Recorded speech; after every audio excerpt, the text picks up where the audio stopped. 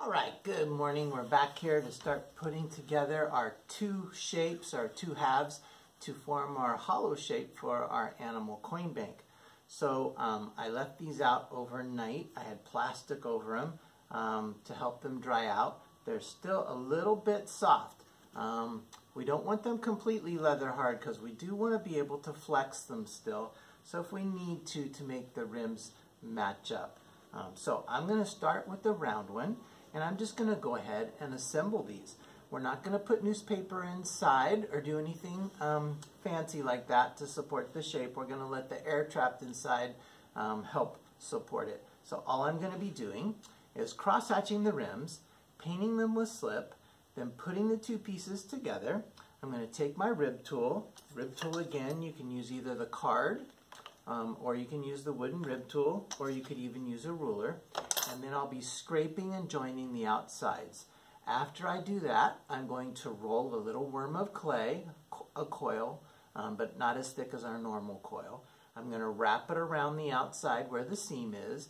I'm going to blend that in, and then I'm going to scrape it one more time. That's going to help to reinforce the joint, and it's also going to help to hide the seam. So I'm just going to work away doing that on both of these and then we'll show you the finished piece.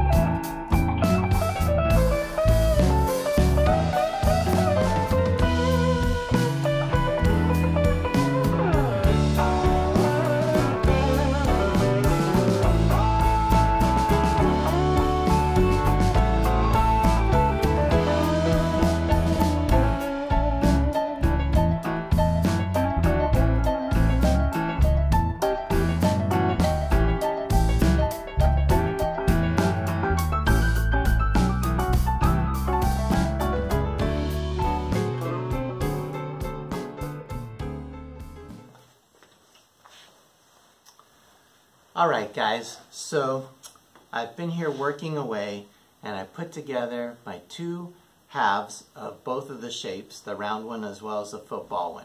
So at this point, after you've cross-hatched, you've slipped them, you've put them together, you've wrapped the coil around the seam, you've blended that in, then you've scraped it, smoothed it, sponged it. The next thing you want to do is you want to paddle it. Um, if you remember back when we did the jack-o'-lanterns earlier in the school year, we use these long wooden boards um, as paddles, basically to just lightly tap um, onto the clay to help put it into a nicer, more rounded shape. So at this point, um, what you're going to do is grab one of those paddles, they're in the bucket at the back of the room, and then you're going to carefully pick up your project and you're going to lightly paddle it into shape. I should say you only need to do this if you feel like your shape needs altered a little bit. So for instance, say I'm going to use the football shape and maybe I want it to be a fish and I want it to stand up more this way and maybe I want to try and narrow or flatten it, give it a better shape. So what I can do at this point is I can paddle the clay and it'll help to kind of compress the clay and also squeeze it and mold it into the shape that I want for my animal. Um, if at this point you're using the football shape and you're going to stand it up and you want it to be maybe the body of a penguin or some other animal and then you're going to add the head and um, so forth to it, then at this point you can paddle it or you can tap it to get a flat spot for it to rest on. Um, same thing with the round one. Whatever your shape is, you're just going to kind of work the paddle to refine that shape. So I'll do a little bit on this one here. Um, so I'm going to use the flat edge. Make sure you don't catch an edge or a corner of the board. You'll put a big dent in your project. And you're just going to lightly tap it. We're not banging on it, um, hitting it hard or, or trying to put a lot of force into it. If you're having to use that much force, you've let your clay get too dry. Um, basically, it's just a light tapping. And you're just looking at the profile or the outline of your shape as you're doing it. And you're just working to refine that shape. Okay? Just to flatten it off, smooth it out, put it, give it more of a rounded shape or maybe have it come to a point if you're wanting it to come to a point. And you're just going to slowly kind of work with it, rotate it, until you're content that you have it to be the shape of whatever your animal might be.